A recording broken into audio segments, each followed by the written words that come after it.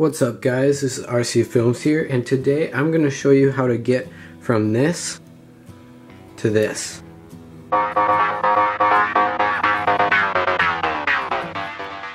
Okay guys, let me give you a little bit of a background on what happened. Here I have two Kindles. Both of them each had Cyanogen Mod installed on them. I turned them into a pure Android device and I wanted to restore the Kindle Fire firmware back onto it. What I did was I reinstalled the firmware on this one and then I reset, I factory reset it one more time. It shut down and then turned completely red and then I did the same thing on this one except without resetting it and it is totally working fine. Everything opens up. Only got a couple apps on there, but it works like a new like a new Kindle. But now this one is completely brick. What I'm gonna show you guys today is how to fix this guy right here. So the things you're going to need are, of course, your brick Kindle, and then you're going to need your uh, fastboot cable, and then you will also be needing a Windows computer. If you'd like to see my video on how I dual booted my MacBook Pro on Mac and Windows, click the link in the description or the card up in the top right corner. Alright guys, so I'm going to show you what the difference is between a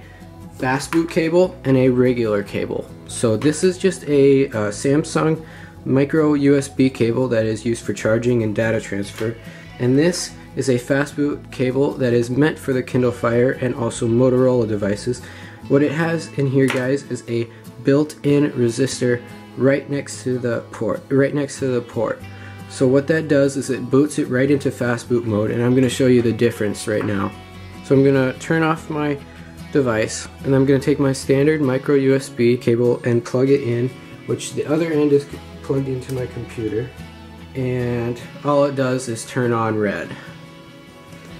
And I'm going to shut it off again and I'm going to show you guys what the difference is between the fast boot cable and the regular cable. So I plugged in my fast boot cable to my computer and now I'm going to insert the micro USB end into my Kindle Fire. Right there. Immediately it turns right into fast boot mode.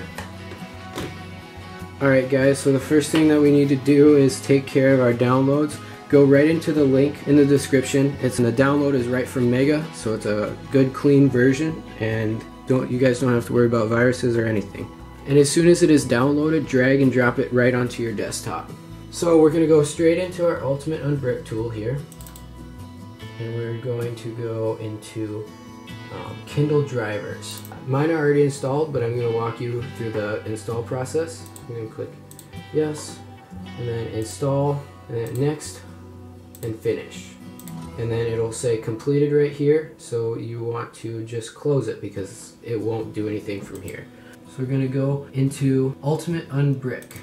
Alright, so if I un so if I unplug it and I don't have my, my wire connected, and you guys see here if I press any option press enter, it'll say waiting for device. Same thing if you plug in any other regular USB, it has to be the fast boot cable. So we're gonna plug that back in. So we're gonna start by going one, two, three, and four, and then that'll take us through the whole step of reinstalling our Kindle Fire. So I'm going to press one, press enter, and if you guys get this waiting for device option when you press the one key and then enter, what you need to do is then go into device manager, find your uh, device and then press update and then browse my computer, let me pick and then scroll all the way down to universal serial bus devices. And then click Windows device and then press ADB device and press yes and then it will successfully install your device and then you can see it right there under universal serial bus devices. Close that out open up ultimate unbrick then go through all the steps going one two three and then four. And what it will do is it'll send you all these codes saying how long it took and what it did. Then you can press the enter button. Yeah and then press the next option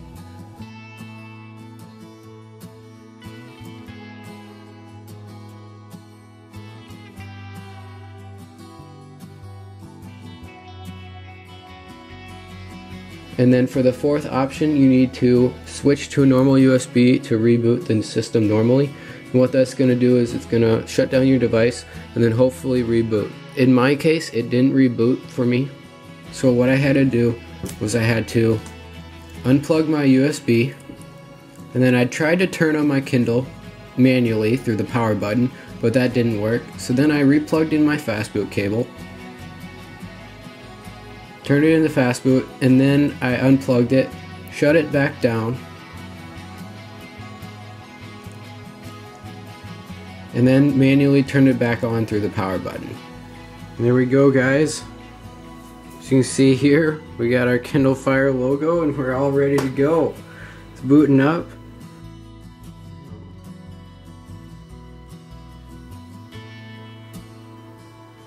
So now what we're getting here is a triangle and it says Kindle Fire System Recovery. Your Kindle Fire doesn't seem to be able to boot. We're going to try to reboot our Kindle. And we'll see if that works. Sweet guys, there it is.